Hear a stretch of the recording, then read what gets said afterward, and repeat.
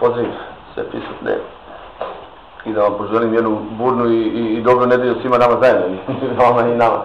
Ovaj, svaka utakmica koja dolazi je sigurno, sigurno jedna, jedna, svaka je naravno najbitnija, tako da i evo i ove protiv Zvezde došli smo do te situacije da, da s pobjedama na domaćem terenu e, osiguravamo učešću u Evropi i E, tako moramo prići, prići svakoj utakmici. Zvezda Gračac je jedna dobra ekipa koja je pokazala jednu konstantnu formu u, ovo, u ovom takmičenju. E, sigurno je da neće doći ovdje da se predaju. E, imaju dosta dobrih pojedinaca. E, Biće jako teško.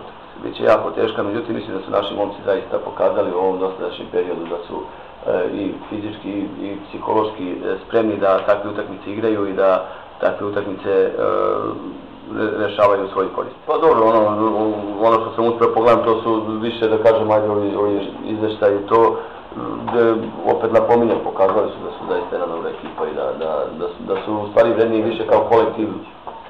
Žarić ima kartone i nažalost eto mali Radulović je ovaj, dva, tri dana već ima, ima problema zdravstvenih temperatura i tako da neće moći nastupiti.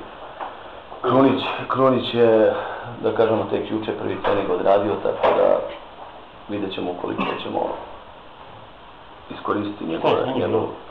Pa imao je, imao je problema, dosta je udaraca dobio u zadnje vreme i ovaj, jednostavno ga je sustiglo sve, tako da...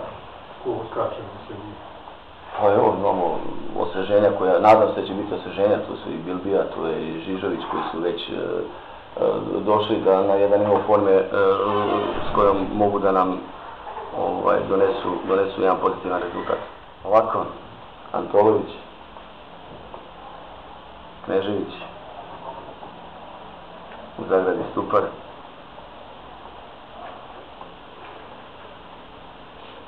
Raspodić, Marković, Stakić, Grahovac, Ivetić, Bilbija, Čajić, Kajkot i Žižanić. Pa mislim da smo svi slačionici svjesni važnosti sutrašnje utakmice. Kao što šef rekao, ove utakmice kod kuće moramo pobijediti i, ovaj, i na taj način da probamo osigurati što je cilj, što je cilj kluba i, i ovaj, kažem, svjesni smo važnosti, da ćemo sutra sve osigurati da rezultat sigurno onda neće izostati.